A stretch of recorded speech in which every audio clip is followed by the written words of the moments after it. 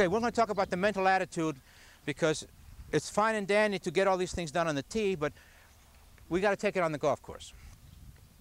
Now, unfortunately, we have three types of mental attitudes. One is positive, we have a negative, and we have corrective.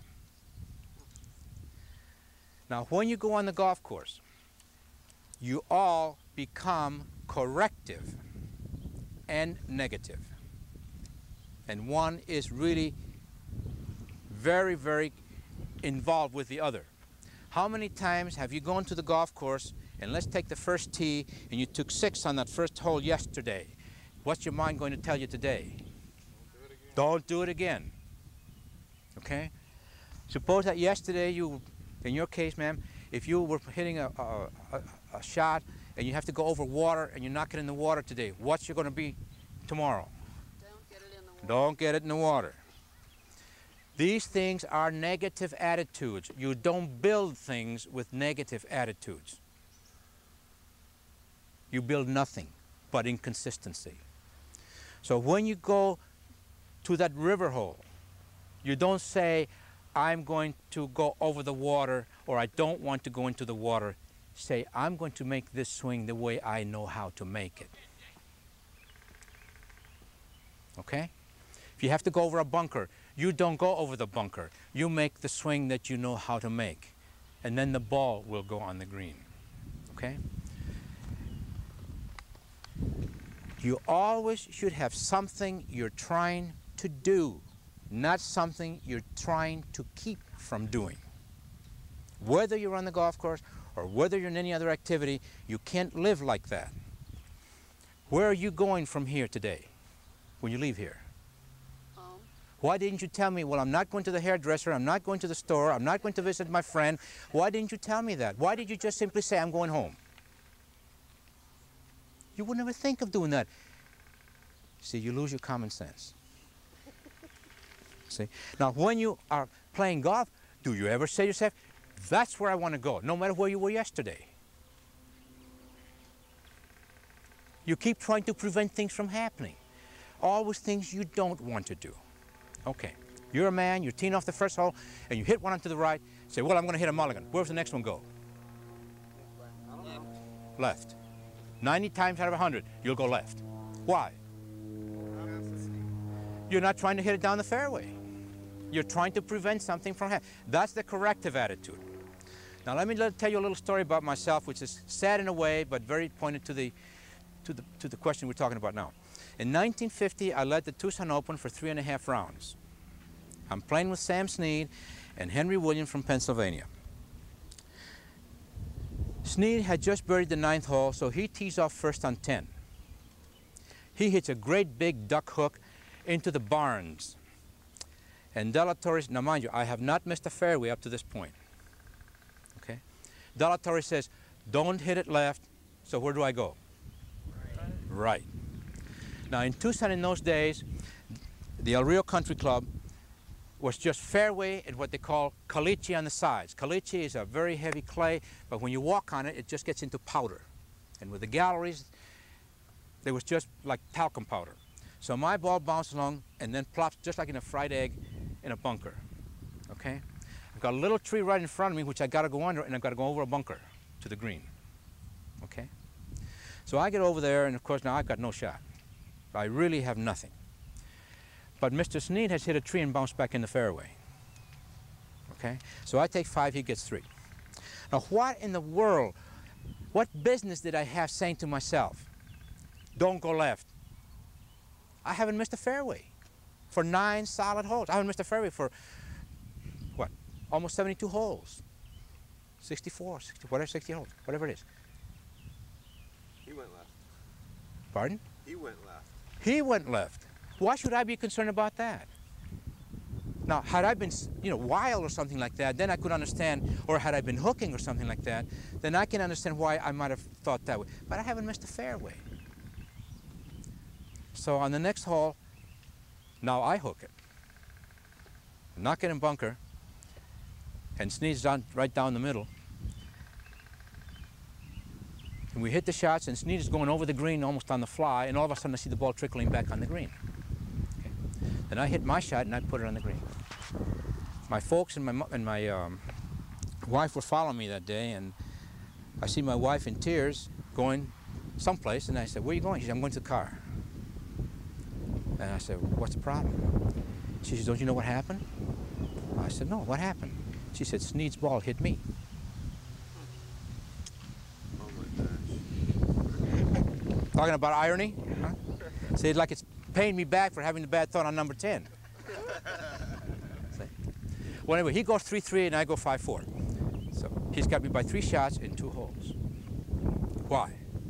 Because I didn't stay with what I knew I had to do. I started getting concerned with the blessed ball again. You see. Now, it's sad in a way, like I said, but I hope that it helps you because no matter what the conditions are, you make that swing the way you know how to make it, and the heck with the rest of the stuff. And then you'll be fine.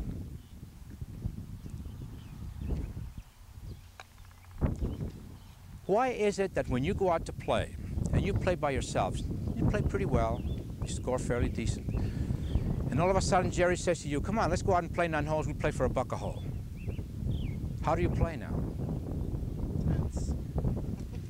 Yeah. Number one, you don't want to lose to Jerry. Number two, you know that if you've got to play your best because he's better than you are, okay? Assumption. Uh, secondly, he's a long hitter, and boy, you're going to hit as far as he does. Now, what does that have to do with the mo- movement that you've got to produce? Absolutely nothing. So when your mind is on all those other things, is your mind on making the swing correctly? Absolutely not. Every one of my assistants that I have had has hit the ball well enough to win the assistants championship. And they have been in contention almost every time they've played it. The last young man that had a chance had it three under and had three holes to play. Six, five, six. Why? Thinking about winning. That's the closest he's come. He's four shots ahead of the field. You sure he didn't? Trying not to make the same mistake you did and keep from hitting it right. Very possible. Very possible. Especially if one of his guys did it. Did did it. It's very possible. Whatever the whatever the change of mind was, he didn't stay with what got him three under. So we're not thinking about the swing at that point, right? That's correct. So you have what I call an undirected golf swing. Now, an undirected golf swing is just as dangerous as an undirected car. Now, you get in your car, push the accelerator, and don't steer it, and let's see where you go. And your golf swing is just the same. This club is an inanimate object, and it will not say to you, John, remember, if you forget me, I'll take care of it until you remember me again. It's not going to say anything. It's not going to do anything. So you're the one that's got to pay attention to it and move it as you know it has to be moved to get the best result that you can. And when you play on the golf course, you tend to forget that. Your purpose changes. When you practice or you take a lesson, your purpose is to make your swing and follow your instructor's suggestions and so forth, and you work on your swing. When you get on the golf course, you want to score. And that's the worst thing you could ever think about. Because your score is a result of what? Good shots, and good shots are results of what? Good swings. And you can't change the sequence because that ball is not going anywhere unless this club is in motion. So that comes first. Question? So whether you shoot a good score or a bad score really shouldn't make a difference, should it? That is correct. And if you stay with your concept, you won't shoot very many bad ones. If you take yourself and get the club swinging and you say, okay, now there's the flag. Now I'm going to swing this club and I'm going to swing it at the target. How many bad shots would you hit? Is it too many? That's correct. No matter what the conditions are. Now you're playing match play, for instance, with a man and you're two down. Okay? What has in your mind? I gotta get a birdie. I gotta get a birdie. I gotta get a birdie. So you go five, five, five. That's an undirected swing. Well, sure. Because you're more concerned with the, with the result and you've got to do something to get that result, which is to move this club the proper way. So, so whether you shoot 80 or, or 70 shouldn't make a difference, should? That is correct. E- even though you've made, when you shot 80, you, you've made many good swings, and, and maybe the greens are hard, and you, you hit, your shot on the green and roll over, and you didn't get up and down. So whether you shot 80 or 70, shouldn't make a difference. That is not for your performance. That's correct. For your thought process shouldn't change. Now you go out there and shoot a bogey, or say you have a bad uh, streak and you get two doubles in a row. What's your feeling? What do you want to do now? Make it up. Now I got to get a couple of birds. See, you, you can't do that. Pardon? Like an individual. Pardon? It's the same way on an individual. If you have a bad drive, you start thinking, well, I gotta hit this one, I gotta pound this to make up That's drive. correct. That's the wrong attitude. You should try to make your swing as, as well as you can. And I'll guarantee you, if your concern is your golf swing and you make it as well as you can, you're not going to hit that bad a shot. You may not hit it perfect, because we we're not machines, but you're not going to get going off on a tangent and try to, to, to just make up things and you're not going to get it done. There's just no way that's going to happen. Um, You can't make up for bad holes. All you can do is continue along. With and try to make not mistake by trying to do it correctly. You see, if, if you today go out and lose twenty dollars, just you lose it someplace, and tomorrow you lose you, you you find fifty. Have you made it up? Pardon? If you make 50 the next day. Yeah. Have you made it? 50 If you find next day. fifty, Oh, Have you made it? No. no, because if you hadn't lost the twenty, you still have seventy. So that 20's gone forever. You may feel better about it, but you haven't made it up. Okay. Now let us suppose that you say to yourself, "Gee, I took a double." and then you have a great streak and you, you birdie every hole after that. Have you made it up? No, because if you hadn't got the ball, you'd still be two less. So no matter what you do, that's on the card and you've got it. So no sense fighting it. So all you do is go right back to your swing. When you took the six, it means you, you didn't make the swings the way you were supposed to. Otherwise, you wouldn't have gotten six. Would you, uh, but you, but on the other hand, you don't really think about the swing, right? I certainly do. You do think about When I play competitively or just with my friends, I don't hit a shot that I don't make the swing personally, consciously with this club. But you don't think about the score, do you? No, But you, you, you Even you never think about the score. No. Even if you're five under par. no. in other words, you, you say you think about the swing, but you don't think about how to swing it. Not the how, no, never. I think of what I want to do. I'll give you an example. I played a little tournament called the Calderwood up in Fond du Lac one time, okay? And I was just playing along and having a great time and playing pretty well, you know. The score is the furthest thing from my mind. And Bob Kivlin was keeping our score, and on the 18th hole, he says, boy, are you playing well today? You know how you stand? I said, no, I don't want to know. You did not know. No. See? So I played the 18th hole and birdied it. What do you think I shot that afternoon? 28 on the back nine. And I didn't know that I would. I knew I was playing well, but I, if you had asked me, what's your score like he did, I didn't know. Now, when I won the national seniors in 73, my good friend Lou Warburg came up to me on the 16th hole and he said, you want to know how you stand? I said, no, I, got three holes to play. I said, tell me after I've finished. Are there days when you do know how No, you stand? very seldom. You know, Manuel. I do. I, I'm more aware of when I'm when I'm playing for myself, just fooling around, of the score than I. If I'm in competition and if I'm really playing something that I want, where I want to play well, I want to. Get, my mind is so much on the swing that you couldn't. I couldn't see anything else. Yes. Well, you might have just answered it right there. You know, let's be realistic. Every time you play is not a tournament. You're out there for four or five hours, and there's a lot, and a lot of things happen and change, and there's more that goes through your mind than your next swing. How do you control? You know, you. It's a lot. Y- You know, the about. human mind is a wonderful thing. It can do anything it wants to do. See, when I showed you these swings here, my mind was on doing exactly what I was talking about while I was swinging. My mind wasn't trying to be, hit a good shot because you people are watching. I'm trying to make my motion, and because I make my, I know it's going to come out okay.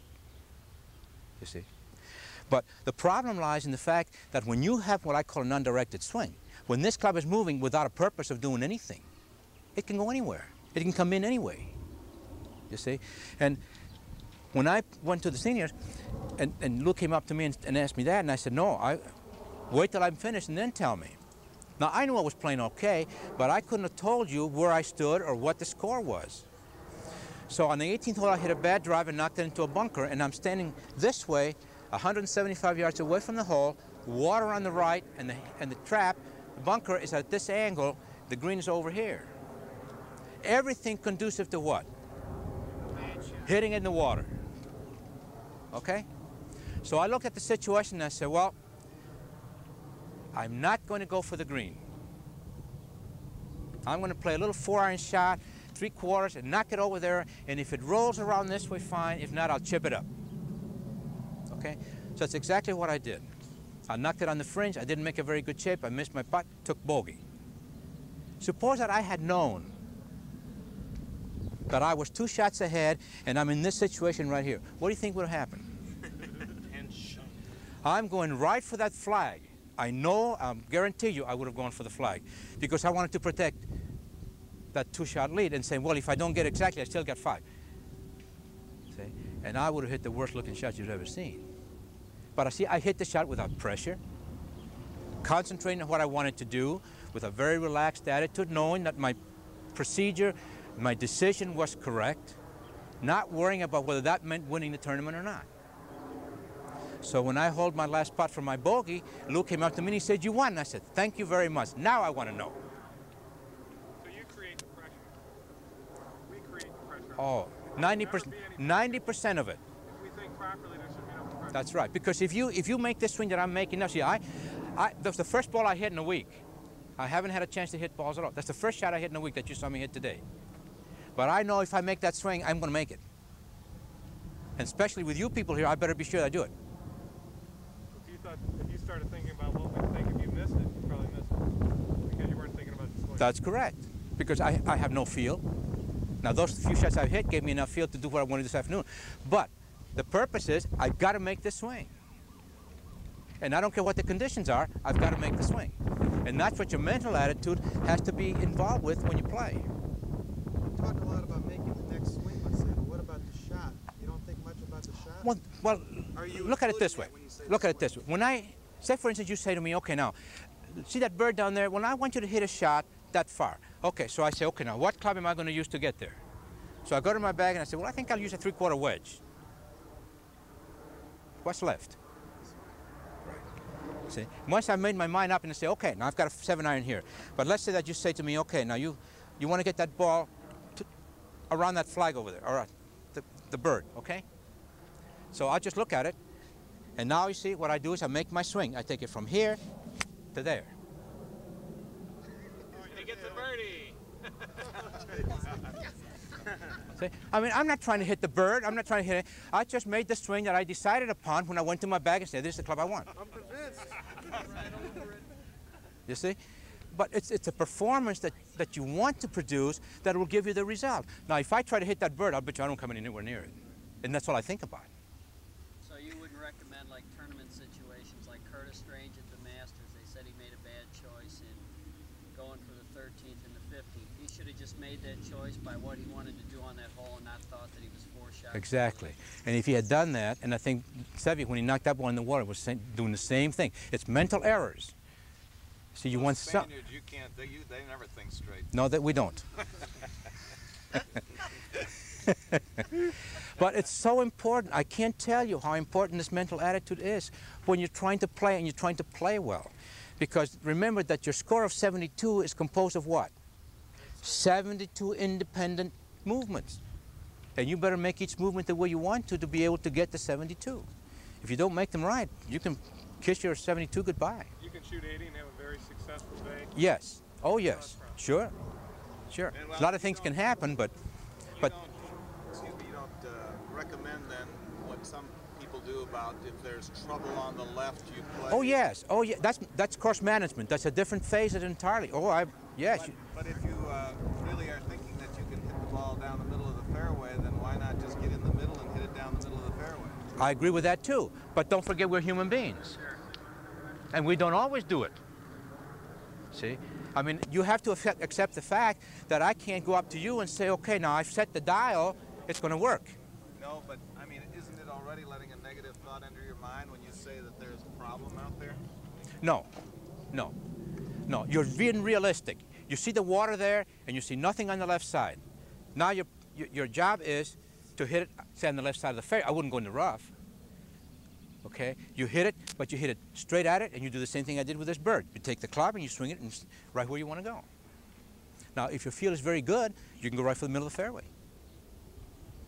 Now, uh, if there's trouble on the right and it's a drive, I tee off on the right side of the tee because mentally that puts you in the direction away from the, from the trouble. If your trouble is on the left, you tee off on the left side of the tee. What did you say before about if you'd have aimed at the bird, you wouldn't have hit it? If I had tried to hit the bird, Oh, just go up there and make the ball hit the bird. See, I wasn't trying to get the ball there. I was trying to get my club to do what it had to do. And therefore, the club sent it to the bird. I didn't. What do you do when you're having a bad day and you're hitting everything right and there's trouble on the right? Steve, we have those days all the time. You had them, I have them. All I do is I keep trying to do the right thing. You wouldn't overprotect a little No, further? no, no. No, I never expect to do it wrong.